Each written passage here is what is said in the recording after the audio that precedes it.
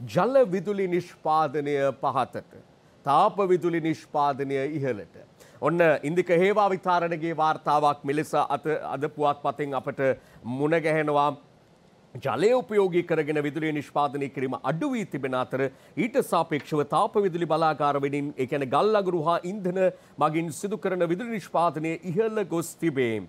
දැන් මේ වෙනකොට ප්‍රතිශත සහිතව මේ පිළිබඳව සඳහන් කරලා තියෙනවා මහා පරිමාණ ජලාශවලින් විදුලි නිෂ්පාදනය 54.77යි 7ක් දක්වා අඩු වෙලා තියෙනවා කියලා තමයි සඳහන් වෙන්නේ. එහෙම අඩු වෙන්න සාධාරණ හේතු කාරණා තියෙනවාද? දැන් මේ දිනවල තවමත් සමහර ප්‍රදේශවලට අධික වැසි ඇද හැලෙනවා. යතර පහුගිය කාලයේ ඇද හැලුණු ධාරානිපාත වර්ෂාවන් එක්ක බොහෝ ජලාශ ජල විදුලි උත්පාදනය සඳහා යොදා ගන්නා ජලාශවල ජල මට්ටම් ඉහළ ගියා. පිරි ඉතිරි ගියා වාන් දමනෝ සමහර ඒවා තවමත්. එවැනි පසුබිමක් තුළ මෙරට විදුලි උත්පාදනයේ වැඩි කොටස අපිට කොහොමත් අපි ජල විදුලිය මත තමයි වැඩිපුර යැපෙන්නේ. ඒ අනුව නිෂ්පාදනය කෙරුණා.